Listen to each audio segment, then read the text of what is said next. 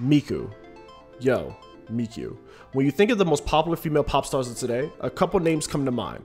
Lady Gaga, Katy Perry, and also Ariana Grande. But there is one more, Miku. If you're unfamiliar with this turquoise-haired diva, she is one of the biggest pop stars in the world. No, seriously, and she's not even real. Let me explain. Miku was originally a Vocaloid software developed by Crypton Future Media intended for professional use for musicians, but this software became such a huge hit in Japan. Miku was shot to stardom. This led to countless marketing, merchandising, brand deals, and even placement in other media. Miku was also known to go on tour, but good luck getting those tickets because they sell like crazy, I mean quick. Miku's success is not just in Japan. Here in the US, pop star Lady Gaga went on record saying that she loves Miku, even had Miku open up for her at a show. Miku shows here sell out just as fast as anywhere else. Miku was actually announced to be performing at Coachella this year, assuming it will still happen. So it's safe to say Miku is everywhere, but what about the gaming industry? I mean, this is primarily a gaming channel, so let's talk about that. Sega develops a series of games for Miku, the Project Diva series. These are a series of rhythm games that are mostly exclusive to Japan. The US would not see a Miku game until 2014 with Project Diva F for the PS3. That game was met with pretty decent reviews and had pretty decent sales here. Fast forward to 2016, and here comes Project Diva X, the next console installment for the series.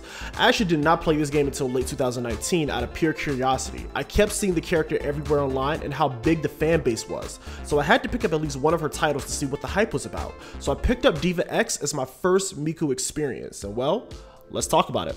As I stated, Project Diva is a rhythm game, so you spend the time hitting button commands in sync with the music of the game. Now this game does have a story mode, but there's a very bare bones plot, so let me give you a quick summary. Miku and her friends notice that the music stars are no longer shining. Each star represents a different vibe within the music they perform.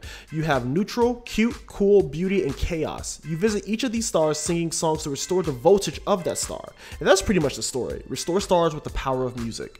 Miku and her friends will interact with each other throughout the game, but there's really just minor conversations that don't really add much to the overall story.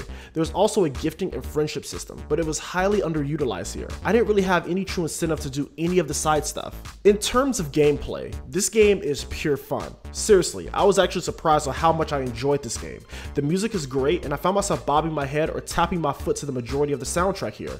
The backgrounds are really beautiful as well, but it was extremely distracting when trying to perform these notes and do the rhythm games. Miku can also wear different costumes and accessories called modules. These modules are extremely stylish, and since Miku is known for her image, the developers put ton of thought and love into her wardrobe. There's also a little strategy that goes into picking the correct module. If your outfit matches the tone of the song, it acts as a multiplier for your voltage number, giving you a pretty big advantage. You unlock these modules by playing through different songs and hitting the correct notes to trigger this. I love seeing what modules are being unlocked. It was awesome. Occasionally, you can assign background vocals, but honestly, I didn't use anyone besides besides Miku. I'm sure the other cast members have their fans, but they did not leave much of an impression on me on this title. The overall look of this game is very colorful, bright, and vibrant. That was one of the things that actually attracted me to this title. I love how the backgrounds and set pieces look while Miku is performing. Very appealing. I also really love the song art for each of the songs. Very small detail, but I love how each song has its own vibe and the cover is a visual representation of that. My current Twitch overlay was actually inspired by the colors of this title. When you're not singing, there are a couple extra modes you can play with. One of the most notable ones is the music video editor. This mode also has a VR mode, so you can share these with friends and get thrown into this virtual world. It's pretty cool. Overall, Miku Project Diva X was an awesome introduction to a character in the series that I will be following up with. I definitely see the appeal here and you can consider me a fan. Maybe one day I can find myself attending one of her shows in real life. I would love to experience this type of vibe firsthand and interact with the fans. Drop a comment down below. I want to hear from Miku fans. Recommend me some other titles or media. I know there's a Switch being released soon, so maybe I'll take a look at that too. Thank you all for watching.